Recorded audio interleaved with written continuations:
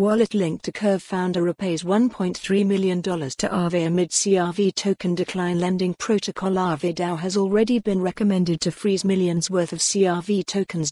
A wallet linked to Curve Finance founder Michael Egorov today sent $1.3 million worth of Tether, USDT, in a move that apparently eases concerns around the large debt taken by that wallet from a lending protocol Aave. Egorov previously deposited $24 million worth of CRV tokens to Aave on Monday.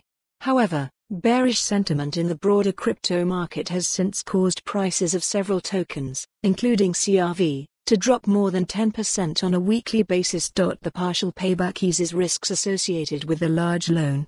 The recent decline in Curve CRV token, with a 24% weekly decrease and a current trading price of 57 cents, has raised concerns about potential liquidation and selling pressure. As of Thursday, the wallet holds over 288.7 million Curve DAO, uh, CRV, tokens, valued at $167 million at current prices, and has around 60.7 million USDT borrowed against it. This position represents over 30% of the total CRV token supply and has drawn attention among some crypto Twitter community members for the risks it may present to the broader decentralized finance, DeFi, sector were it to be liquidated. Egorov began borrowing stablecoins on Aave in April, with $37 million worth of Tether, USDT, being sent to crypto exchange Bitfinex while $51 million in USDC was sent to prominent market maker Wintermute. According to blockchain sleuth LookOnChain. Egorov began borrowing stablecoins on Aave in April.